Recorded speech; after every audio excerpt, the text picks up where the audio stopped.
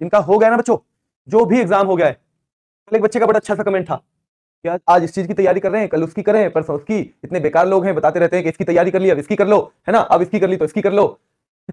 बड़ी हँसी आई मुझे बच्चों, बहुत। एक दो गालियाँ भी लिखी उसने हमारे लिए, सारी टीम के लिए लिखी। स्पेशली मेरी क्लास में था तो मुझे थोड़ा और ज़्यादा प्यार मिला उसका।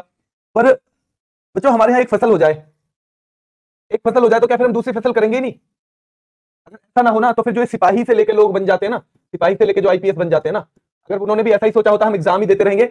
हम एग्ज़ाम ही देते रहेंगे तो भाई फिर तो क्या था है? हम पढ़ते ही रहेंगे ज़िंदगी भर। बच्चों पढ़ाई कभी नुकसान थोड़ी करती है। कभी नुकसान नहीं करती। तो, तो हम भी पढ़ते आ रहे हैं यार। हम भी उन्नीस सौ बानवे तिरानवे से मतलब 1993 से पढ़ते आ रहे हैं। पहले खुद पढ़ाई करी। पढ़ाई के बाद बच्चों नौकरी के लिए तैयारी करी। नौकरी एक मिल गई दूसरी के लिए तैयारी की दूसरी मिल गई तीसरी के लिए तैयारी की। है ना? चौथी के लिए भी तैयारी की वो मिल नहीं पाई वो दूसरी बात है। तो लेकिन कुल मिला मैं कहना चाह रहा हूँ कि ये रुकने का नाम नहीं है जीवन। जब तक चल रहा है, तब तक कुछ ना कुछ करते रहो यार, तब तक कुछ ना कुछ आगे बढ़ने की कोशिश करते रहो। सिपाही का पेपर अच्छा हो गया तो क्या सब इंस्पेक्टर बनने में बुराई है? क्या नुकसान हो जाएगा कुछ? अरे भाई, अगर सब इंस्पेक्टर का हो गया तो क्या आगे पीसीएस की तैयारी करने में बुराई है बच्चों? क्या बुराई है? नहीं है ना बुराई? तो करते रहो फिर, है ना?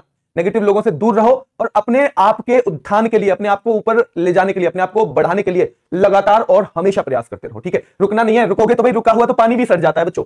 रुका हुआ तो पानी भी सड़ जाता है। तो इंसान तो दूसरी बात है। चलो, करें शुरू। हाँ जी, शुरुआत करें बच्चों, तैयार हो?